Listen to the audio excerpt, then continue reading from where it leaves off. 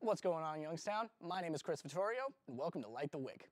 Today, we've got a story diving into a newer piece of the Youngstown area, and also what's new with Pete the Penguin, coming up right here on Light the Wick.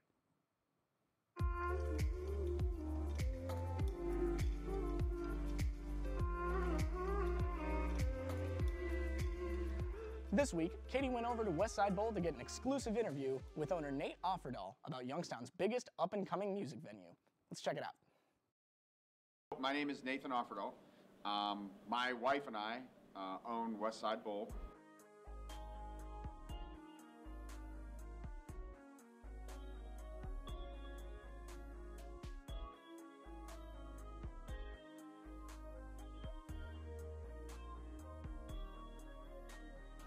Uh, we bought bought the building uh, March 7th of 2018. Um, it was sort of the culmination of probably 20 years of thinking about and talking about and eventually planning to start a music venue in the city of Youngstown that could have the cap capacity of about 500 so that we could book regional national touring bands.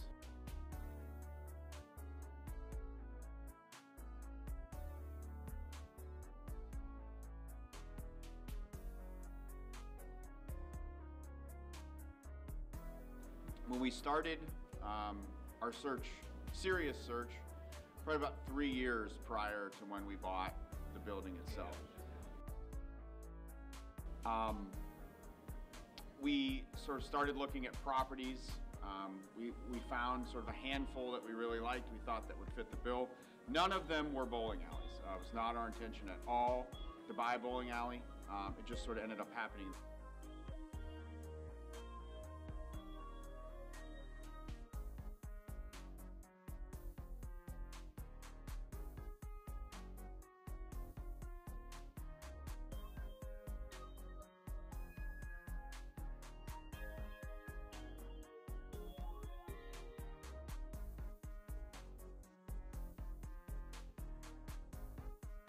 We went up to visit with Cindy and Mark, um, Cindy Barber and Mark Leedy, the two folks who own the Beachland Ballroom, which is really sort of what we were trying to copy here in Youngstown. The ability to do a small show and a big show, sometimes do them on the same day, uh, have two different events going on at the same time.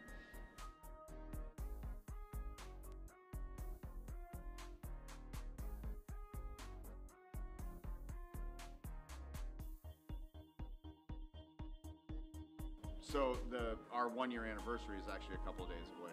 Um, the anniversary party is March 15th and 16th. Um, and then again on the 29th and 30th, we sort of split it up. Um, we've got, probably since the beginning, we've had the biggest, you know, a, a large chunk of our support has come from bands that play really loud, heavy music.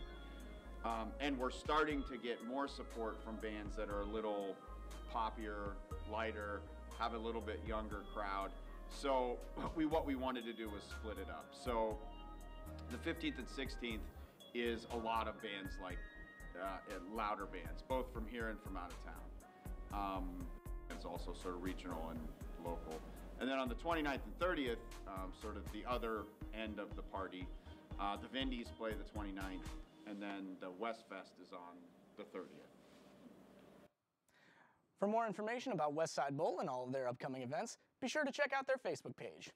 Next up, our intrepid reporter David Leach went out to discover the history behind the mascot, the myth, the legend, our beloved Pete the Penguin, in our first installment of Pete Palooza.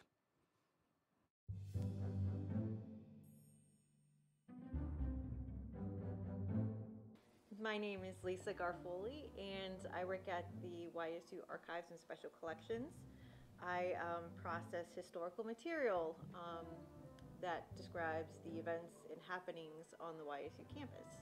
I will start with how we got the idea of having a penguin as a mascot. Um, it all started in 1932 with the Youngstown College basketball team, and they had to go by bus. The bus was poorly heated. The basketball team made it down there. It's the dead of winter. Their uniforms didn't keep them very warm. So when it came to practice on the court, they started jumping around, flapping their arms. And the coach of West Virginia College said, look at them kids from Youngstown College. They look like a bunch of penguins flapping their arms and jumping around. and the name stuck. The students loved it.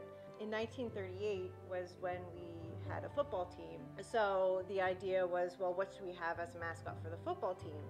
And the student body said penguins. We have to have penguins. And that is basically how we got the name penguins. Youngstown College, Youngstown University, and then YSU, Youngstown State University, went through a transition of three live penguins. After the third one, the student body realized it's not a great idea to have live penguins on campus.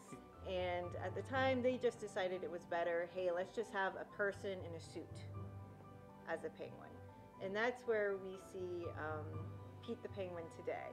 Uh, the first student to wear the costume actually was um, Vic Rubenstein. He was told by the Dean of Men at that time, when we were a university, that he needed his help.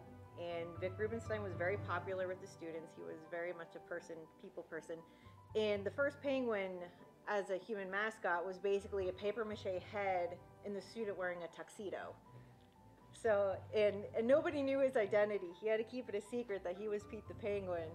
So it wasn't until years later when Vic Rubenstein said, Yes, I was Pete the Penguin. But yeah, sometime in the 70s was when we had the traditional suit of Pete the Penguin. In the 1980s was when Penny came along. Um, the Pete you know today, the look, the scarf, the hat, and everything, that didn't really come along until the late 70s. And basically, his look hasn't really changed since then. I would say Pete is the embodiment of school spirit. I mean, because everyone's always so happy to see him. He, everyone, he makes everybody laugh. He's at all the events. So, I mean, he really embodies the school spirit. He's really there to motivate the students, get them all riled up and happy, and, and to support the team. And life would be dull without Pete the Penguin, I think. Wow. There's way more to Pete than I thought. Stay tuned for episode two of Pete Palooza, coming soon. Well, that does it for us here on Light the Wick. Make sure to follow us on all our social media, and remember to use the hashtag TheWickIsLit. Thanks for watching, and we'll see you next week, Youngstown.